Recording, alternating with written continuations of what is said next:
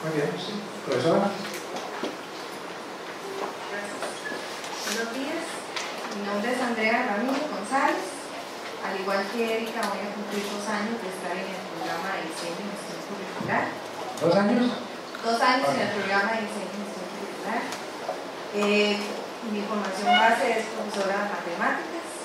Trabajé al inicio, ¿verdad? En universidades privadas, en también, en colegio. Cuestiones del destino llegué a la División de Educación Rural, una unidad académica del CIDE, que es el la, digamos decir, la Facultad de Educación de la Universidad Nacional y ahí me desempeñé como académica 10 años.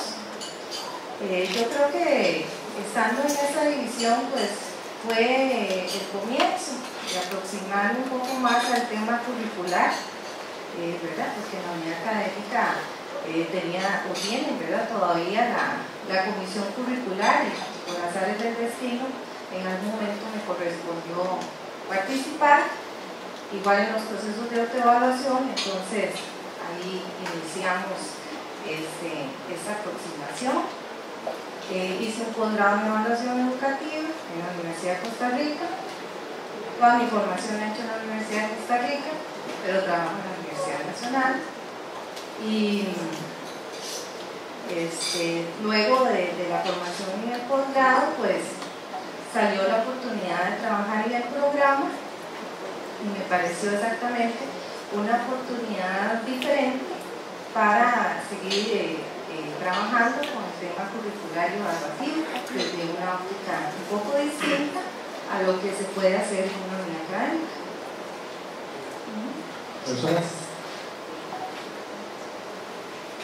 Buenos días, mi nombre es Viviana Gómez Barrantes. Eh, me vinculé con el programa de diseño y gestión curricular desde hace ya nueve años ingresé en la, dirección de docencia por un asunto de convenio con los colegios universitarios con las instituciones parauniversitarias, en procesos de articulación tanto en docencia como en investigación y extensión. Empezamos a, a, coordinar ese convenio que existía entre las cuatro universidades públicas y las instituciones parauniversitarias y posteriormente me fui vinculando con el proceso de diseño curricular de la UNE y con los procesos de autoevaluación para mejoramiento o acreditación.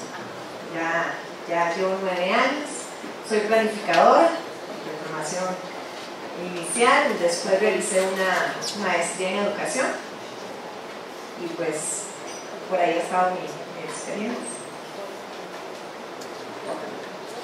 ¿En cuántos programas has intervenido en diseño más o menos?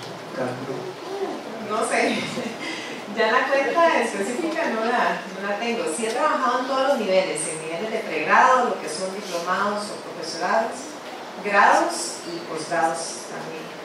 Incluso en algún momento se estuvo gestionando por ahí la posibilidad también de eh, trabajar en el área técnica, la creación de técnicos que no tienen una estructuración propia, digamos, a nivel estatal, pero no existe una regulación específica para la construcción de técnicos.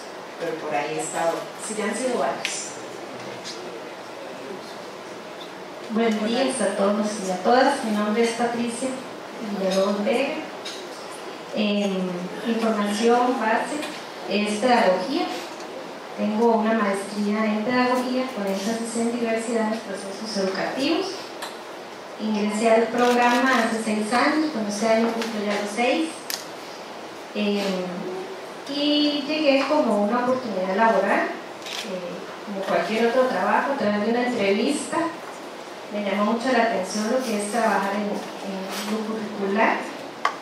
Nosotros como pedagogía, como carrera de pedagogía, pues uno, durante toda la carrera se, se, ve el tema de currículum, ¿verdad? Se ve el planeamiento, la planificación nacional, de lo macro, de lo micro, pero, pero eh, indiscutiblemente cuando uno ya entra a un proceso de docencia universitaria, eh, es otra dimensión del currículum, digamos así, otra forma de, de hacer currículum que vamos aprendiendo en el camino.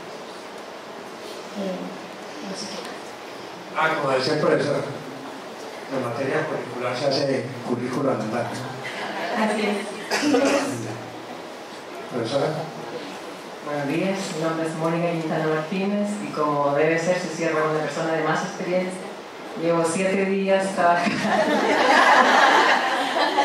siete días trabajando en, este, en esta Soy profesora de filosofía, tengo una licenciatura en filosofía. ¿Siete días? ¿Y cómo, cómo llegaste hace siete días? Ah, eso es muy interesante. Este, yo vivo en zona rural y tenemos un grave problema con los huecos de las calles y quisimos hacer una carta de reclamación al, al alcalde y me junté con una vecina a redactar la carta.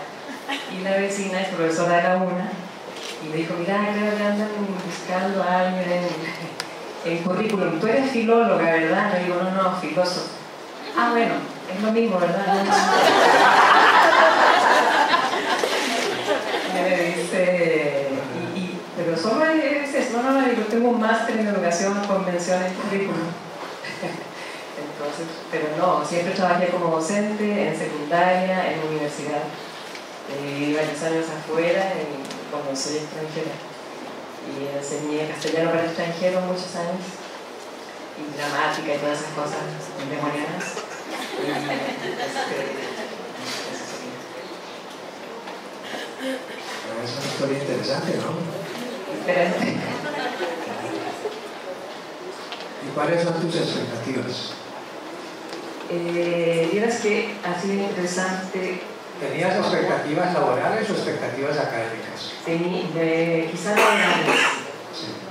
Sí, este, tuve una experiencia en el mundo privado, yo fui consultora durante un año para una empresa privada, trabajamos en un organismo que se llama IAFA, que trabaja con, con adictos, ¿verdad? Eh, y me llamaron para montar un programa para adultos, querían ellos implementar en las empresas eh, equipos de trabajo con la idea de, de no, digamos, de prevenir el consumo, llamémoslo así.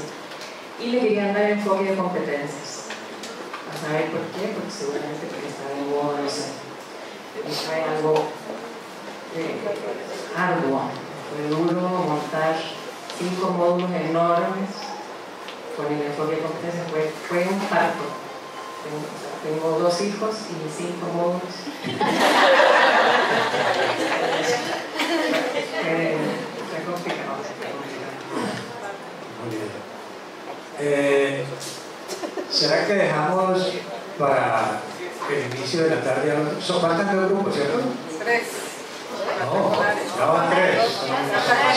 La UNED Ah, bueno, Está con hay Ari. dos compañeros de CONARE, de la, de la Oficina de Planificación Universitaria. Ah, qué bien. Entonces, yo creo que eso los podemos dejar para la tarde. Ah, y eh, luego elaboramos, hacemos toda una elaboración sobre esto. Yo quisiera dos, cositas, les pido el favor. La primera, que de la misma manera que el SEDA, digamos, ha mostrado ahí su estructura como académico-administrativa, ¿cierto? Eh, lo haga el SEA también en un, de pronto en una pequeña diapositiva, una sola de. El de la Universidad Nacional es este.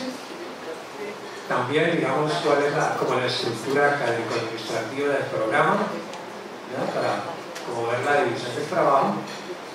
Esa es una, una primera tarea que la pueden pensar en el almuerzo. Y, y la segunda, algo muy, muy breve que incluye a los otros grupos es, primero, si hay una definición de currículo que tenga el SEDA, el SEA, la Universidad Nacional y las otras instituciones, y cuál es, si, si les propusieran que frente a esa definición institucional que puedan tener el SEA, el SEA y las otras siglas, el PD, el PD, el PDCD, PDCG, No, PDG.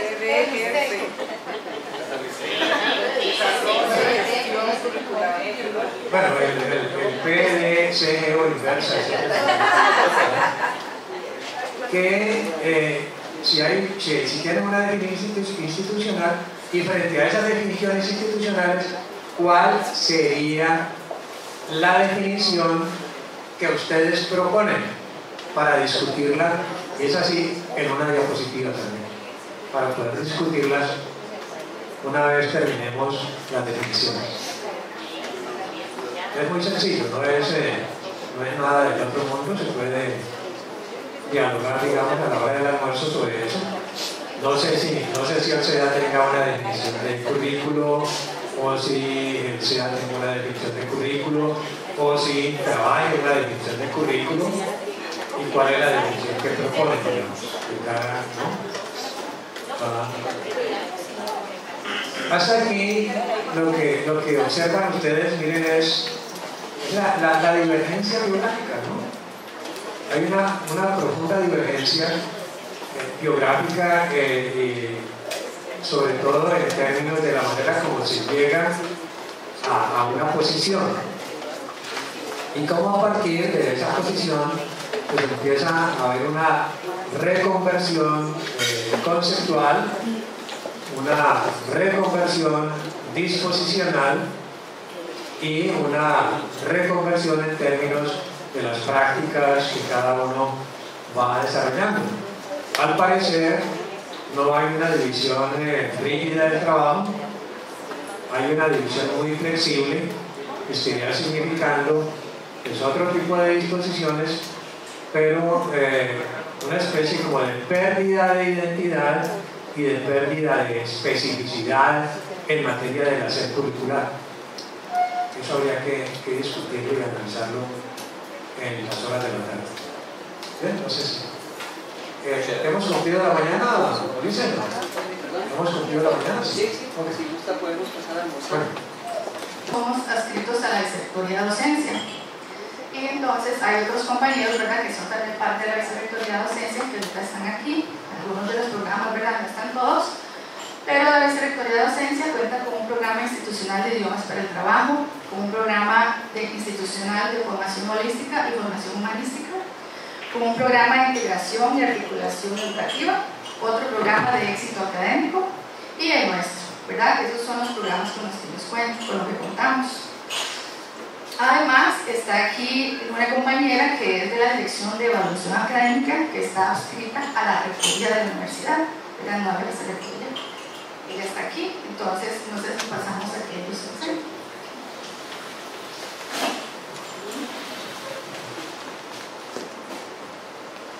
Buenas tardes, eh, mi nombre es Juan Carlos Mora Hernández. Mi formación base la tengo en la Universidad Nacional, en el CIDE. Ahí estudié mi carrera de educación primer y segundo ciclo, diplomado bachillerato y licenciatura, y también obtuve el bachillerato, la licenciatura y la maestría en administración educativa. Igual eh, tengo una maestría en tecnología educativa en el TEC de Monterrey y Recientemente concluí mi maestría en Administración Universitaria en la Universidad de Costa Rica. A lo largo de mi desempeño profesional he trabajado con el Ministerio de Educación Pública como docente de primer y segundo ciclos y como director de escuelas primarias.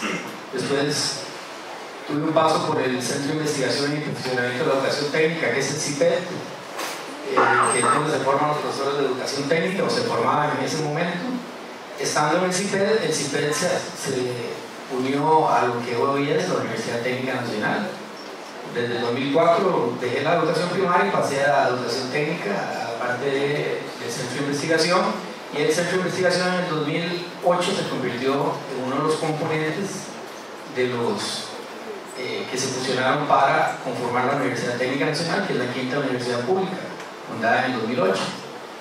Y desde que llegué a la universidad, eh, trabajé, bueno, en el centro trabajé en la parte de, eh, diseño de materiales didácticos, en la parte de, la coordinación de recursos para el aprendizaje. Tuve la oportunidad también de trabajar en la parte editorial de dos de las revistas del centro y posteriormente pasé a conformar la parte del departamento de gestión curricular, que es donde estoy desde el 2010 y ahí es donde me desempeño en la actualidad. Muchísimo gusto buenas tardes, mi nombre es Pedro Avendaño, soy funcionario de la UTN, la Vicerrectoría de Docencia, soy el asesor de proyectos académicos y de gestión académica de la Vicerrectoría de Docencia. Eh, también soy profesor del TEC, de la Escuela de Cultura y Deporte, y me encargo del programa de voluntariado de la Escuela de Cultura y Deporte. Eh, actualmente Mi formación base es soy antropólogo, soy administrador de proyectos, tengo una especialidad en desarrollo rural y me he desempeñado mucho en lo que es el desarrollo urbano, el desarrollo territorial, eh, formando cuadros técnicos a nivel zona andina, zona centroamericana principalmente. También he trabajado mucho en lo que es el proceso de educación entre pares, que es eh, tradiciones intangibles y patrimonio cultural intangible. Y ahora me encuentro haciendo proyectos académicos sea. Buenas tardes, mi nombre es Shirley Segura. Eh, soy egresada de la Universidad Nacional, mi formación base es en enseñanza del inglés. Eh, también a partir de, de, de, ahí tengo alrededor de 10, 12 años en experiencia docente. He trabajado en primaria, secundaria y universidad como docente. Tengo una maestría en currículum y docencia universitaria también. Eh, en experiencia de diseño curricular, eh, trabajé en la creación de un plan universitario eh, diseñó varios diplomados con la química bíblica, que tuvo un, un empuje ahí nuevo en, la parte de, de centros para universitarios, ¿verdad? Después ya inicié, tengo dos años de estar trabajando con la Universidad Técnica Nacional y trabajamos en diseño y, rediseño y evaluación curricular. Un placer.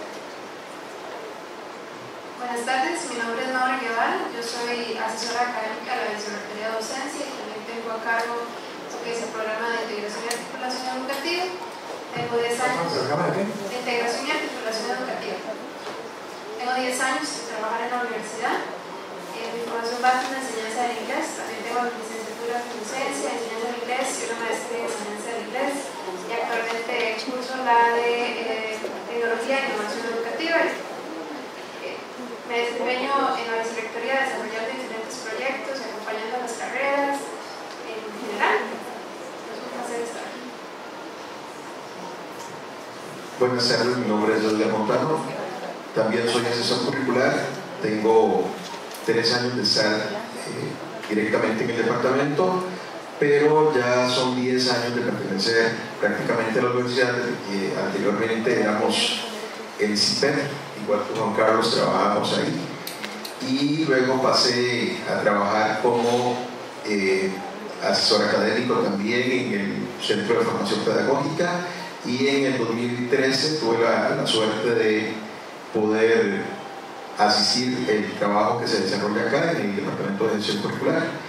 Mi formación básica es en primaria, pero también tengo una maestría en Administración Educativa por ahí estoy terminando una maestría en planificación curricular. Gracias. Buenas tardes a todos, mi nombre es Lourdes Castro. Yo trabajo en el Centro de Formación Pedagógica, que está adscrito a la Secretaría de Docencia de la Universidad Técnica Nacional, y propiamente trabajo en la parte de innovación académica. Pero hace dos años atrás estaba en la parte curricular. Me trasladé para empezar nuevos proyectos. ¿Podrías eh, brevemente diferenciarnos eh, la innovación académica de la innovación curricular? Básicamente, la universidad tiene como una acción prioritaria transversalizar la innovación en toda la gestión, en todos los ámbitos.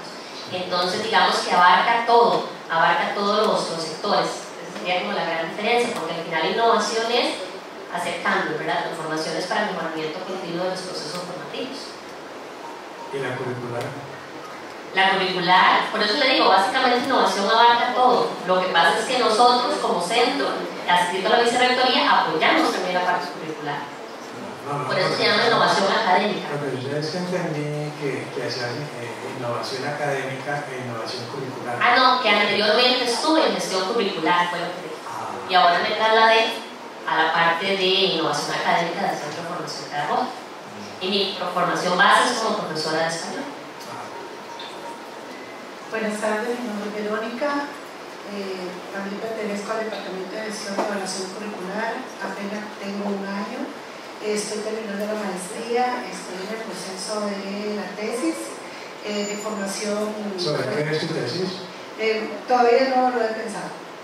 Estoy en ese proceso. A ver en qué la maestría se queda en educación? No, eh, tengo una maestría en administración educativa y estoy formada aquí en el TEC en, educación técnica eh, secundaria. ¿Para servirles? Buenas tardes a todos. Mi nombre es Lama Aparicio. Eh, también trabajo en la Universidad Técnica Nacional. Por muchos años trabajé en el Colegio Universitario de Punta Arenas en el área de planificación institucional. Y recientemente ya voy a formar parte de la Dirección de Evaluación Académica. De hecho, que hoy es mi primera actividad formal acá. Muchas gracias por invitarme y estoy a la orden. Gracias. Eh, podríamos decir que, ya, podríamos decir que este es como el grupo más, más joven de, de, de Coral.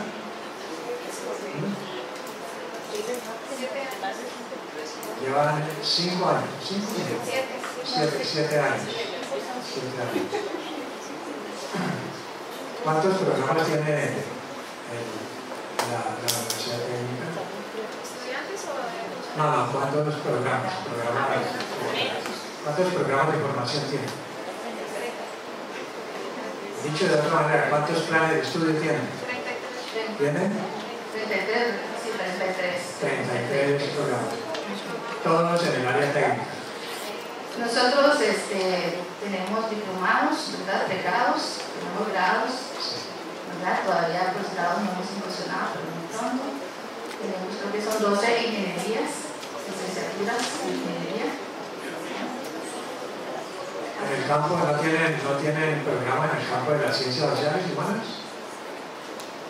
No, en el área de ciencias humanas no. Y también, bueno, hay diferencias con casi todas, es que nosotros no tenemos facultades, sino que somos unidades académicas, cada carrera es una unidad académica. Cada carrera. Cada carrera Ah, es una no unidad sé lo interesante, lo interesante de, la, de las formas de organización académica, que era lo que quería escuchar eh, Eva, ¿verdad? La, las formas de organización académica a veces se juntan con las formas de organización curricular. Este es un típico ejemplo de cómo lo académico se traslapa con lo curricular o lo académico termina siendo lo curricular. O sea, un programa se convierte en una unidad académica. ¿verdad? Los profesores giran alrededor del programa. Sí, señor. ¿verdad? O sea que los profesores no configuran una comunidad académica ¿no? que eh, intenta, digamos, eh, producir conocimiento, recrear el conocimiento de ciertas epistemes, sino básicamente están dedicados a la reproducción del conocimiento. Uno podría decir que ese- es el modelo más, más, más simple de organización, digamos. Profesores y programas. También a la vez, ¿verdad? Las carreras son unidades académicas, pero a la vez estas unidades académicas están divididas en áreas de conocimiento. Sí, claro, se forman, forman pequeñas academias, lo que en México se denomina pequeñas las academias, que son grupos de profesores de asignaturas eh, comunes, digamos. ¿verdad? Que, que hay ciertos profesores que, que, por ejemplo, uno dictan eléctrica, ¿no? otro electrónica, entonces eh, siete u ocho profesores configuran una pequeña academia, pero esa academia depende básicamente de la asignatura, no depende. Y, no, y los profesores no están... eh, no, se caracterizan, digamos, porque configuran una comunidad académica ¿no? que tiene otros intereses al margen de los intereses del programa. Esta, este tipo de estructura generalmente en la universidad privada es muy frágil. Ustedes tienen la fortuna de que es una universidad pública, porque la universidad privada es muy frágil. En la universidad privada se acaba el programa y hasta luego profesores, ¿verdad? porque no hay, digamos, un, un soporte un soporte académico eh, alrededor de una unidad académica que hace varias cosas. O sea, una unidad académica hace producción de conocimiento, eh, o sea, investiga, una unidad académica produce intelectualmente, una unidad académica puede hacer asesorías, una unidad académica puede eh, realizar proyectos, ¿qué más? O sea, son, son muchas las labores que hace una unidad académica. Pero cuando una unidad académica depende exclusivamente de un programa, pues básicamente esa unilateralidad restringe el, el, el carácter académico de un profesor, que es una persona que académicamente debe siempre tener un perfil muy amplio. ¿verdad? O sea, no solo conocer la, la especificidad de su materia, sino conocer el campo. ¿verdad? Ese es uno de, de los problemas, por ejemplo, que existe en la Universidad privada colombiana. La universidad pública, en la universidad pública hay una diferencia profunda entre, además interrelacionada entre el campo académico y el campo curricular. O sea, el campo académico tiene que ver con la división social del trabajo de los actores y de las unidades académicas. Repito, el campo académico tiene que ver con la, con la división del trabajo de los actores, o sea, los profesores, Lo digo académico porque, porque no es únicamente la docencia, ¿me explico? Porque uno, un profesor que pertenece a una unidad académica puede hacer docencia, yo prefiero decir formación, que la formación implica docencia e investigación, y puede hacer extensión, puede realizar proyectos, etcétera, etcétera. Ese es, ese es la, el, papel que juega un profesor en una unidad académica. Y una unidad académica en sí misma es un, eh, una corporación, una especie de agremiación de profesores que académicamente están eh, orientados desde una determinada episteme o desde un conjunto determinado de problemas que los convoca y alrededor de, los cuales digamos, convergen enfoques, teorías, modelos, formas de interpretación, etcétera, etcétera.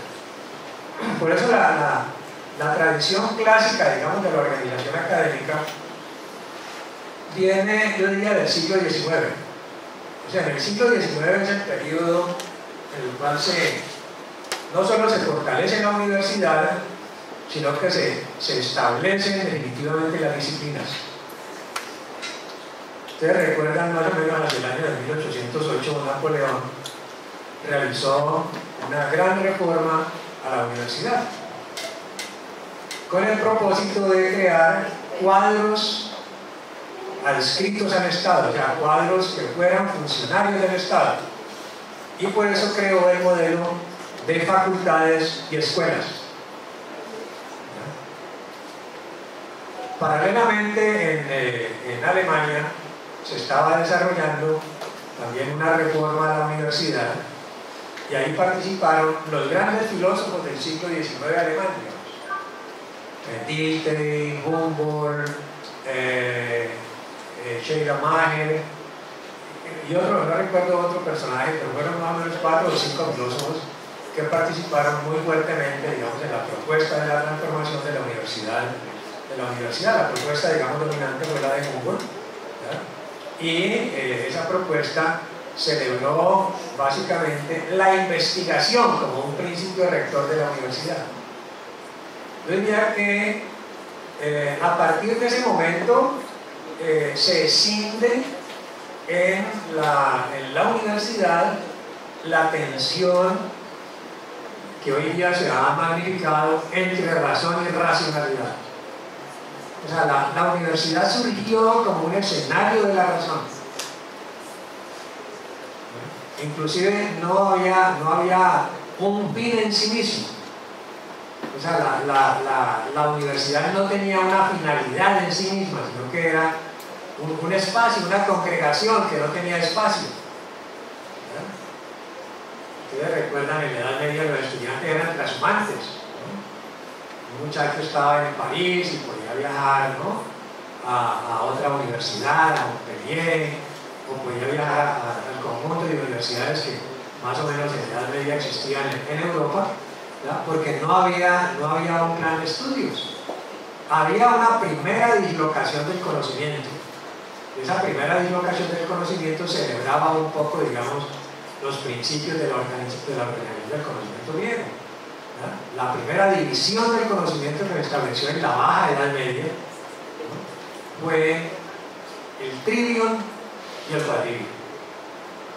Y el el cuadrivium se consolidan en el siglo XIX como las ciencias sociales y las ciencias naturales. Y allí aparece, digamos, como el, el primer gran embate sobre la universidad para que la universidad estuviera sometida a racionalidad, a fines, a propósitos, a metas, a misiones, a visiones, ¿no? aunque la misión y la visión, digamos, hace parte de, la mercadotecnia de la modernidad y la posmodernidad. Por eso la, universidad hoy ya tiene una misión como lo tiene una estación de gasolina. ¿Cómo la dejan acá? ¿Una estación de gasolina? ¿Ah? Ah, exactamente, una bomba, sí. Como, como una bomba. Colombia también se llama una bomba.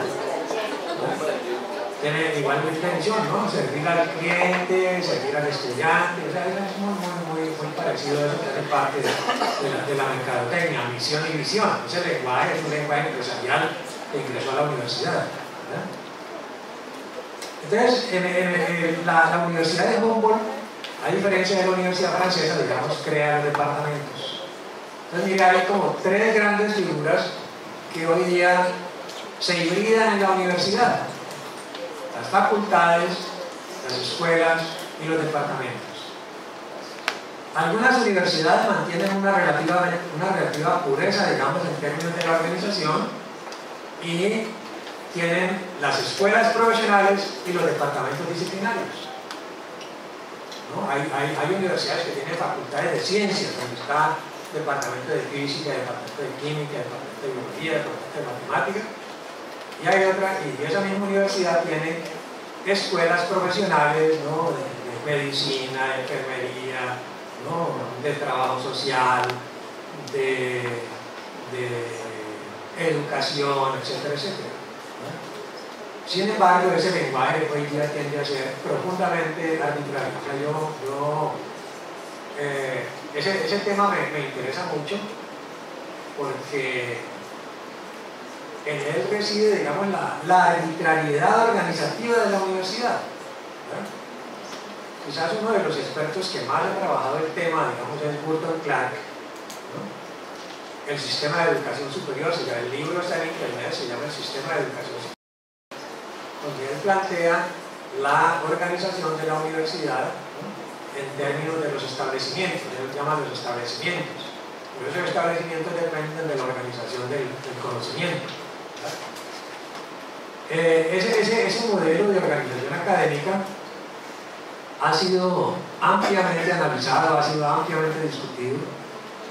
Yo lo he trabajado con estudiantes de maestría que justamente estamos, eh, en octubre, lanzamos un libro sobre la organización académica de educación superior porque nos muestra la, la, la importancia que tiene conocer esta gramática organizativa y sobre todo los modelos que subyacen a esa organización. No basta mirar la, la, la únicamente la comportación en escuelas, departamentos, facultades, sino qué modelos subyacen a esa organización. Por ejemplo, el modelo burocrático político. El modelo burocrático político es el modelo que más, que mayoritariamente existe en la universidad pública latinoamericana. Y ese modelo burocrático político es un modelo que eh, genera profundas tensiones, digamos, en lo académico, en la medida en que se, se establecen poderes que definen las formas de vida de la universidad y que, y que permiten consolidar ciertos poderes. Tomemos el ejemplo de algunas universidades públicas colombianas donde ese modelo burocrático político intenta perpetuar el poder de una administración. Actualmente, por ejemplo, coloquemos el ejemplo de la Universidad del Valle en Cali, Colombia, donde yo resido. La administración va para dos, tiene 12 años de administración, o sea, son 3, 4 años, y las alianzas, digamos, burocrático-políticas por consolidar y mantener esa administración, pues han sido muy fuertes, o sea, alianzas con los partidos políticos para sostener a un rector. El, el, hecho, digamos, es que, es que el modelo burocrático político a veces también entroniza en las formas políticas de organización. ¿no? Eh, esto sucede mucho en Colombia porque Colombia es un país tremendamente centralizado. O sea, Colombia no es un país descentralizado.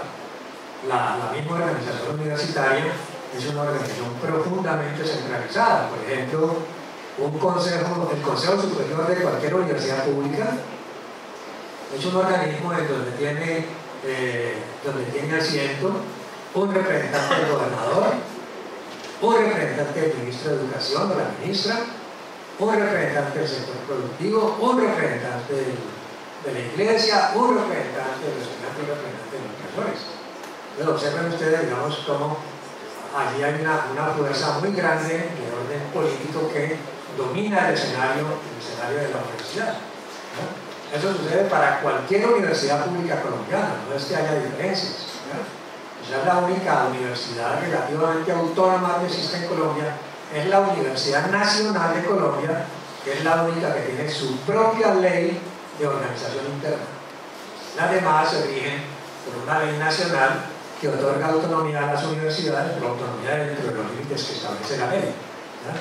El Consejo Superior de la Universidad, a su vez, está conformado también por un representante del presidente. Entonces miren ustedes cómo el modelo burocrático político está muy, muy ligado, digamos, entre las instituciones de educación superior y el poder político. ¿Por qué? Porque la, la, universidad tiende a ser en ese caso una especie de botín político de ciertos grupos que dominan en un momento determinado el escenario político institucional de una, de una determinada entidad. Hay otros modelos, ¿no? Hay otros modelos, eh, por ejemplo el modelo adocrático, ese es un modelo eh, mucho más, eh, está el modelo colegiado, donde las decisiones son profundamente colegiadas, el papel democrático que juegan los profesores, los estudiantes y la administración genera cierto equilibrio, digamos, en las relaciones de poder. Los proyectos son sometidos a un consenso, a una concertación, y no impuestos de una manera, de una manera unilateral. Creo que sería muy interesante que leyeran un texto que está en internet de el apellido se llama Toribio, Toribio no recuerdo el nombre, se llama la, organización académica de la universidad, o modelos de organización académica. Porque eh, ese modelo combinado, digamos, con eh, el planteamiento que hace, que hace Max Weber, ¿no? de la burocracia, del poder burocrático, del poder carismático. Ah, está el modelo carismático, por ejemplo. El modelo carismático es aquel que se, realiza sobre la base de eh, personajes que tienen, como se dice, un gran carisma y en virtud de ese carisma, digamos, detentan todo su poder. Es lo que Max Weber define el poder carismático. O sea, hay una serie de modelos organizativos que subyacen, de modelos perdón, que subyacen a las formas de organización de la universidad, que son importantes en este caso para comprender no solo las estructuras académicas, sino la dinámica académica de la universidad, que tiende a ser relativamente autónoma de la dinámica curricular. Por eso me parece que metodológicamente debe distinguir uno entre la organización académica y la organización curricular. Yo lo grafico en el, en el libro, lo grafico de la siguiente manera.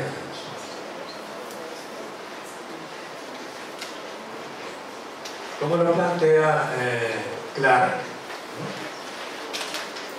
Burton Clark, en, en su libro El sistema de educación superior, él dice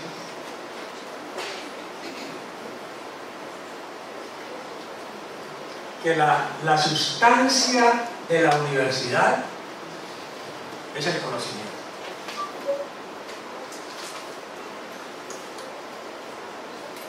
Y ese conocimiento permite establecer una diferencia entre dos campos. El campo académico y el campo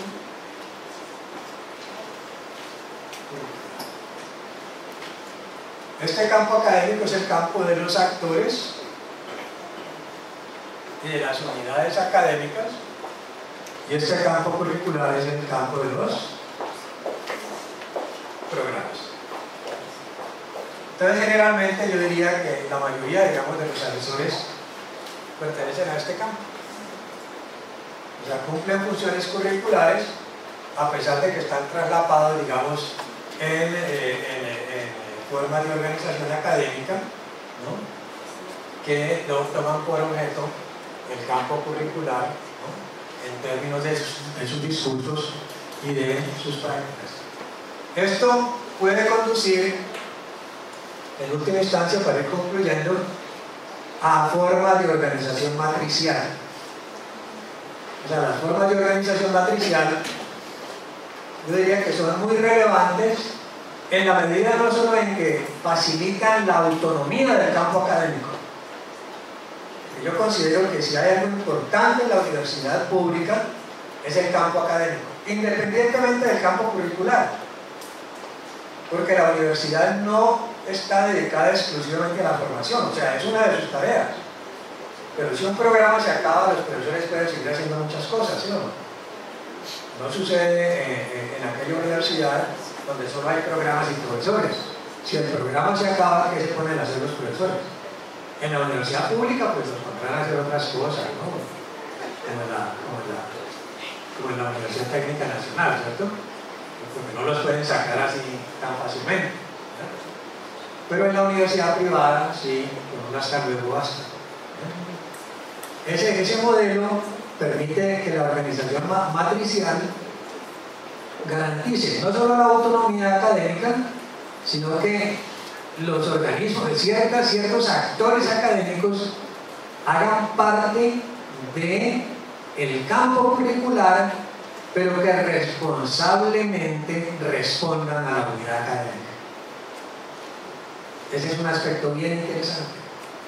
Porque cuando se consolida un modelo mm, donde los límites entre la, entre la organización académica y la organización curricular es, es muy rígida, de tal manera que la organización curricular cobra autonomía y casi que se traslada sobre la organización académica, en muchas universidades, en algunas privadas por ejemplo, el director del programa nombra profesores, destituye profesores, eh, define muchas cosas en relación con, eh, con, el mismo plan de estudios y no hay una comunidad académica que le ponga, digamos, coto a esa situación. Por eso me parece que esta estructura matricial, que es una estructura que garantiza, por ejemplo, la relación entre la oferta y la demanda, la, la, posibilidad de que los profesores hagan ofertas nuevas, novedosas, innovadoras, críticas, se facilitaría en un modelo, en un modelo matricial, un modelo que permitiría que permanentemente el currículo estuviera siendo revisado, analizado, interpretado y transformado por esa organización académica, o sea, por esos actores académicos que a su vez tienen una visión curricular.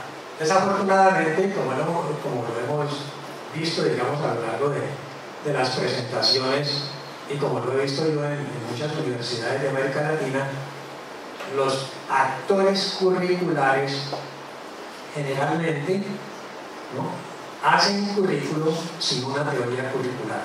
Yo uno de mis argumentos iniciales en las horas de la mañana, ¿recuerdan?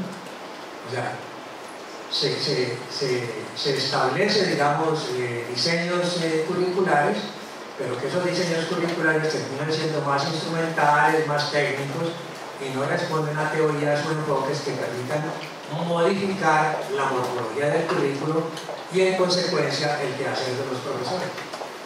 Yo hago una, crítica, digamos, a, ese, a, este a, este, a esta situación. En el texto que está en internet se lo recomiendo, se llama, por favor tomen el, el título, Currículo debates actuales, trazos desde América Latina.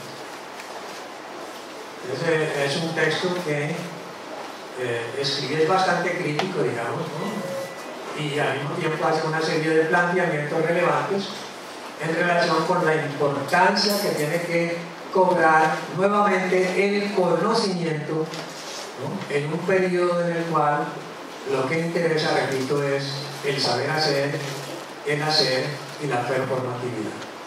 Me parece que en la medida, digamos, en que, logremos nosotros como comprender estas diferencias, en la medida en que logremos relacionar ¿no?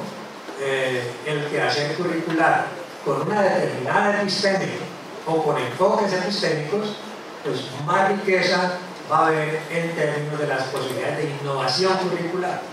Y la innovación curricular va a ser un asunto intelectual, un asunto académico y no un asunto meramente práctico.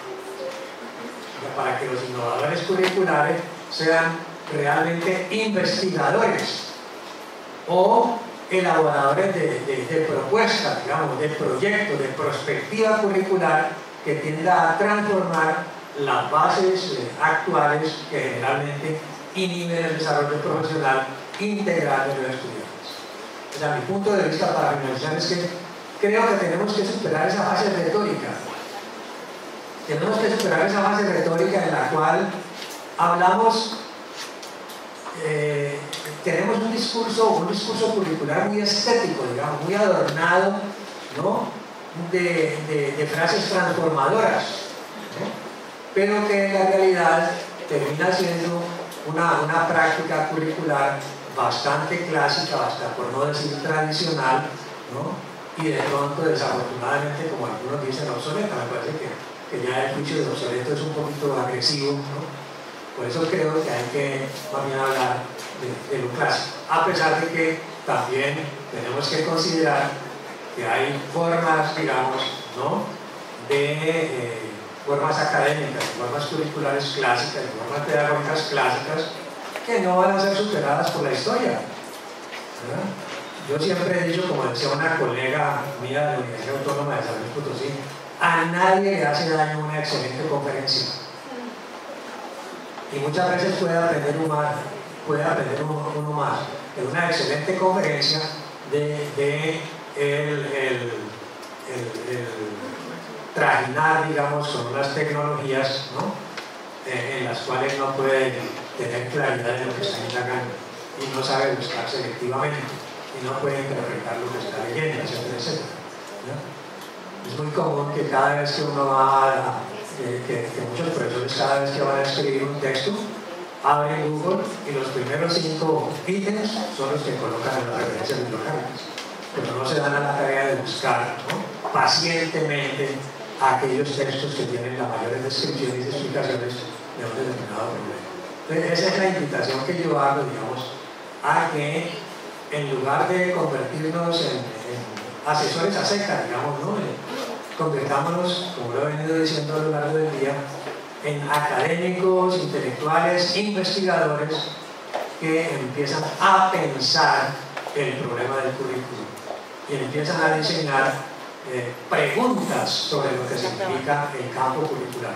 Desafortunadamente se nos acabó el tiempo, mañana les planteo las preguntas que tiene el proyecto del currículo en América, el currículo de la educación superior en América Latina, para que ojalá, digamos, dentro de los intereses investigativos que puedan tener los diferentes eh, grupos como el CEA, el CEA, las dos P's y el programa final que presentaron, eh, puedan, generar un pequeño programa de investigaciones para que la investigación termine dejando de ser un asunto coyuntural, un asunto aleatorio y haya una perspectiva de crecimiento intelectual a través de la investigación. Eso es todo lo que tengo que decir por hoy. Muchas gracias.